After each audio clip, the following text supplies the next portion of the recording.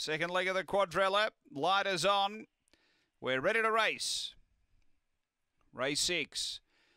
They're away. Speed loose leaf chai going quickly. Flying B. Sassy as he was out deeper as Flying B took over. Then she's driven. Uh, next Ferocious Stevie and then came Slippers uh, Tick and behind those swinging Forts and Miss Nala. But burning away Flying B to the turn. Left them standing. Loose leaf chai holding second for the moment. But Flying B bolted in. I reckon Sassy as he grabbed Loose leaf chai for second.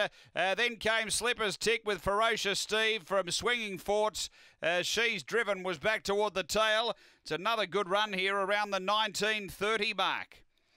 After the running of race number six, and has been far too good here, Flying B for Bosco's Domenkovic. Jumped okay, then I was zipped through, grabbed the front, and just extended from there. Number two has uh, got the prize, Flying B for Bosco's Domenkovic. Uh,